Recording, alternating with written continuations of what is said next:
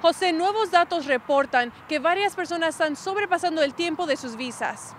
En un nuevo reporte del Departamento de Seguridad Nacional, se encontró que más de 45 millones de personas visitaron los Estados Unidos el pasado año, y por lo menos la mitad se sobrepasaron el tiempo que fueron otorgados. Interesantemente, este número es más grande que el número de personas que fueron detenidas en la frontera. Los datos estimaron que alrededor de 337 mil personas se quedaron en el país después de que se expiró su visa en el 2015. ¿Por qué será que personas deciden quedarse en el país? Por la inseguridad en México pienso yo. Yo, porque yo soy uno de ellos que me quedé. Pues uno viene aquí a progresar y a salir adelante y sacar pues, a la familia adelante, pues. Pues ya mucha gente quisiera estar aquí, pero pues, tú sabes, está difícil.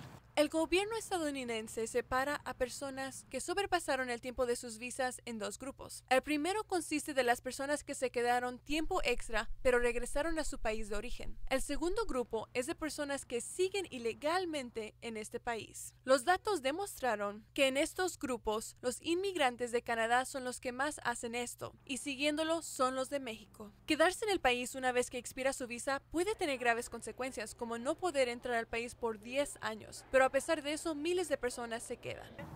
Si están aquí para hacer dinero y apoyar a sus familias, a mí no me importa. Se vayan y pues, arreglen bien sus cosas, lo que es y ya. Porque pues ya la van a perder y pues tú sabes, ¿no? Pues para volver para acá está medio carajo. La verdad. Es importante recalcar que si sobrepasa el tiempo de su visa, cuando intente renovarla puede tener problemas. Reportando para Telemundo, Acción Oklahoma, Cecilia Hernández Cromwell.